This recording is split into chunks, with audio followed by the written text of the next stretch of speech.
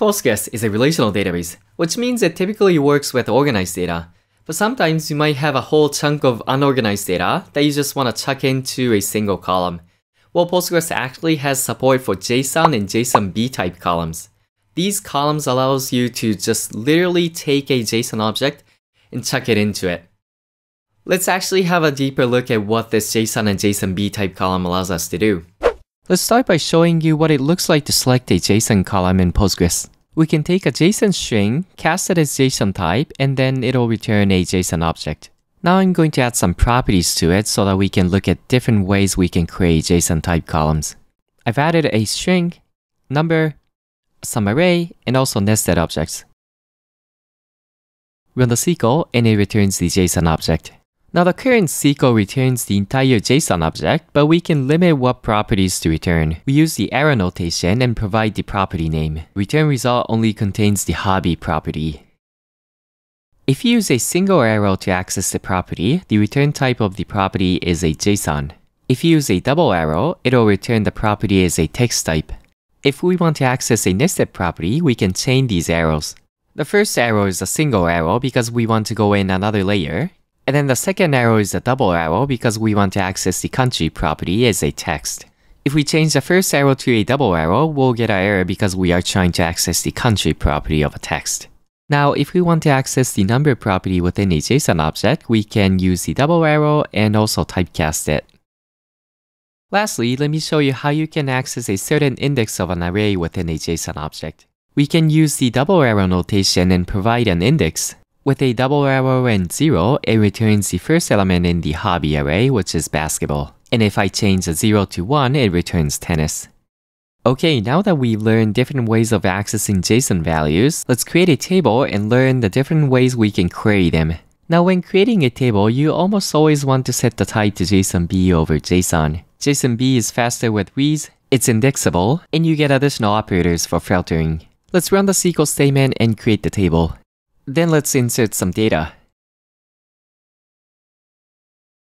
I'm just going to take the same data that we've been using. Run the query and now we got some data in the table. Let's confirm by selecting all. We see the JSON data being returned. Let me insert a few more rows so that we have more data to play with. I'm adding my teammates John and Thor here. They both have a few hobbies and they have the country property within the address. Run it and they are in. Let's confirm by selecting all again. Great, we have enough rows to demonstrate a few different tricks. Let me clean up the editor and let's start with a simple select again. Just like what we did earlier, we can access the property with the arrow notation.